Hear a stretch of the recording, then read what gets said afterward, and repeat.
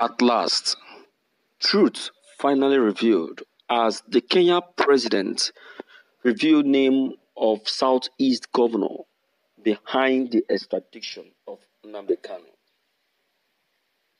Of course, everybody knows. Everybody knows that the extradition of Nnamdi Kanu is not uh, is not ordinary. We know that someone is behind it, and if that person is from the southeast, we know. So it shouldn't be anything new. But uh, the name of the person has not really been uh, revealed. But who could this person really be? Is something that we really need to uh, to to take note of. Okay, let's quickly um, check the content and get it correctly. This is morning news.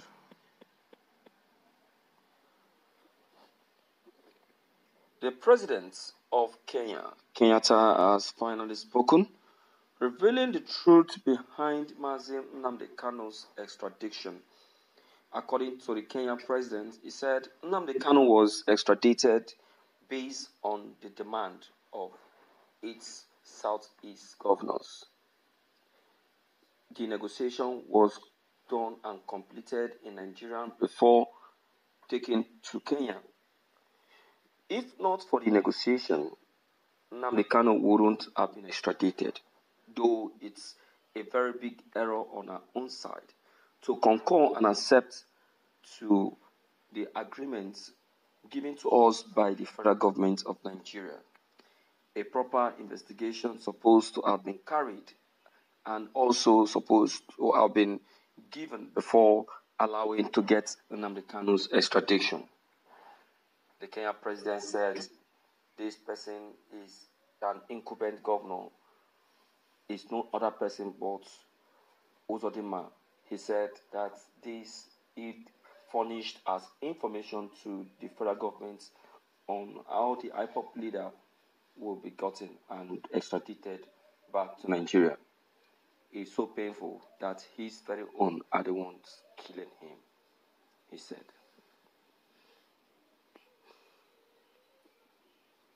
There is an adage that says, What is eating the leaf lives inside the leaf. You understand? What is killing the leaf lives inside the leaf. And that is what we are presently experiencing. You understand? We are our own problem. We are our own problem and we are the one killing ourselves. We are the one causing all the issues that we are having today. You understand? Uh, Reverend Father Chukuma once said it that we are the one causing our problem in the southeast.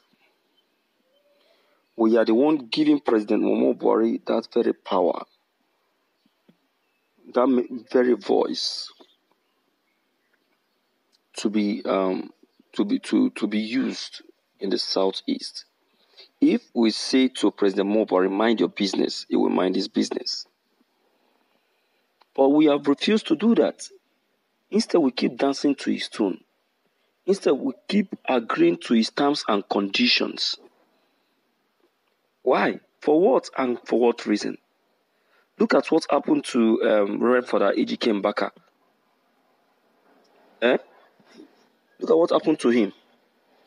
Instead of us to speak for our own, we are speaking for for for for other regions. It is wrong. So, my dear, um, my dear people, with every reasonable doubt, I will tell you that we should, we should, uh, uh, we should do what we know that it is right. You understand? Who's Otima? You see, I will not doubt this. Instead, I will say it can be true. Uzodinma is the only governor that has inaugurated an emir in the southeast states. Nothing of such has ever been done in other states in the southeast except uh, in Imo.